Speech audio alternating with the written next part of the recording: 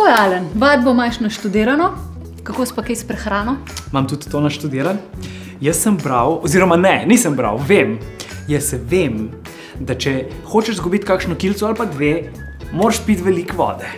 Ja, Alen, ampak to je tako čisto splošno življenjsko priporočilo, da moramo piti dovolj vode. Ja, ampak jaz sem pa razmišljal naprej, s katero hrano se lahko hkrati naješ in tudi spiješ veliko vode. In pol sem se spomnil, lubenica. Pameten, ne?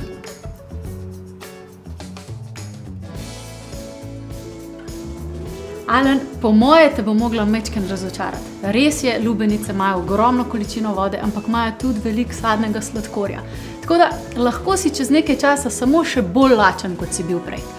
Smiselno je, da pač hrano lepo, primerno izbereš in razporediš, tako da imaš dovolj oglikovih hidratov, dovolj maščob in hkrati tudi beljakovin. Ok, se pravi, nič lubenic. Ne, lahko lubenico, ampak ne samo lubenice. Jaz imam en super recept za poletno malico. Ta recept je primeren tudi za vegane, a ga preizkusva. Ja. No, deva, potrebovala bova riževe ali koruzne vafle, avokado, polovico limone in žličko olivnega olja, tofu, dva ščepca soli, popar in začimbe po želji, češnjev paradižnik in seveda rezino lubenice za posladek.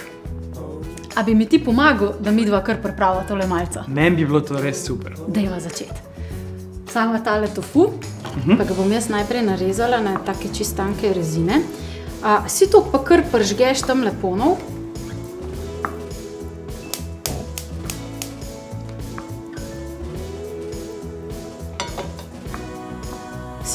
Vzami malo olivnega olja, pa ga pokapaj.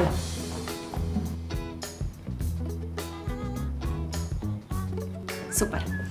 Zdaj čist previdno, položava gor tale tofu. A tofu je kot sir. Ne, ni kot sir, v bistvu je tak izdelek iz soje, vsebuje pa ful velik beljakovin. Tako da recimo vegetarijanci pa vegani ga imajo ful radi, zato da nadomestijo tiste beljakovine, ki jih drugače dobijo z mesa. Evo, Ok. a bo žar mojster? Ja. Deva malo soli, Ja, pa popra tudi ne. malo popra tudi. Ok, ti pa mečkem popopraj. Sem kolik. Ja, to, da ne boš pihal. Sam ne reč po občutku. Sam ne reč po občutku. Uh. Ja, še malo zmanjšati, da ne bo prehudo. Dost, dost, Dost. neki. A, zdaj pa mi dva pustiva tole, da se lepo rahlo zateče. Ta čas bova pa... A znaš razpoloviti avokado? Ja, ampak ne bom zdaj, ker vem, da boš ti. Da bom jaz, ne? No pa boš pa gledala, prav.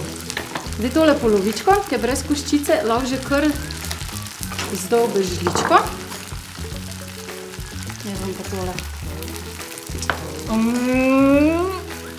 Ja, kaj, jaz pač to počnem je- vsak dan.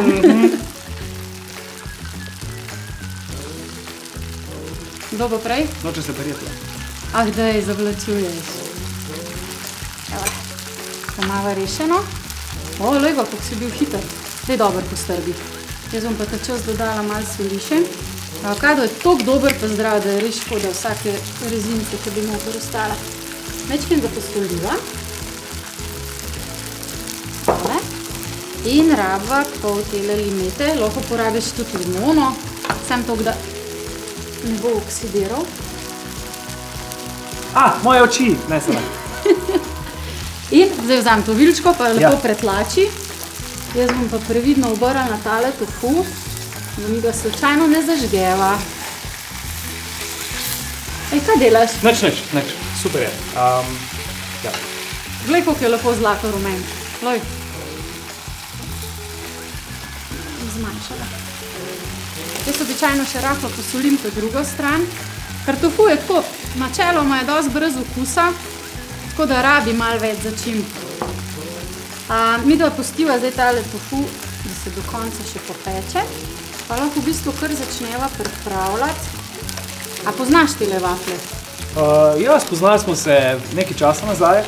Um, Ki je nekako v žuru. ne, v Lidlu. A v Lidlu ste Ja. se spoznali. Zdaj pa ti lepo tale avokado razporedi po vaflu. Aha.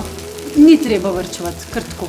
bod darežljiv. Časten. Ja, častiš avokado na tale vafel. Še več? Ja, ja, še še.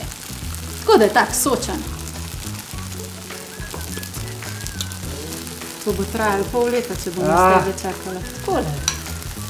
Evo, lej. In potem bova še tale paradižnik na tanko narezala.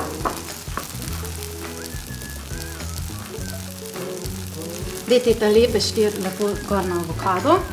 Jaz bom pa tole kar ugasnila, ker je čist dovolj. A vi to vidite, kako bo zdekoriral? Zdaj pa povej, kjer, kjer tale tofu ti všeč? Meni je simpatičen. A, Tale. Ne, tale. Tale. Ja. Daj mi raj to vsem.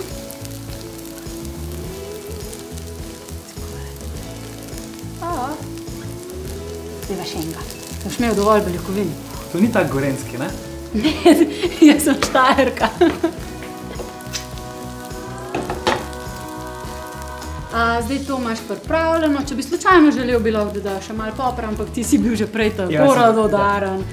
In zdaj za nagrado, ko boš to pojedel, dobiš zraven en košček lubenice. Hm. A boš okej. kar poskusil? A lahko zdaj že to se je? Ja, seveda. Jaz si bom pa ta čas še enega pripravila. Da ne boš sam ti užival. Čakaj. Diši pa res dobro. Pravi slinček. Ne, Ampak je si pa dober. krožnik si spodaj podstavil, bo boljši. Hvala, mami. Mm. Ne boš tega v dnevni tako jedel, pa ti bo vse dol kapljalo. Šaj, ne poslušam te.